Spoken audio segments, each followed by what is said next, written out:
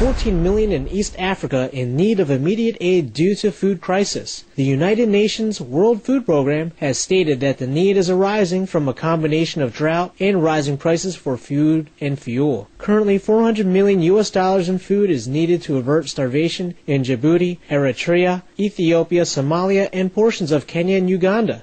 Ethiopia is the most affected nation in the region, with 10 million people urgently requiring food supplies. The price of grain in the country has tripled since last year, with the situation expected to become more serious if there is no rainfall this coming September and October. Thank you, United Nations and World Food Program, for bringing attention to East Africa's critical need for food aid. May citizens throughout the world switch to a plant-based animal-free diet so that grains being used to feed livestock can instead provide a plentiful supply for all.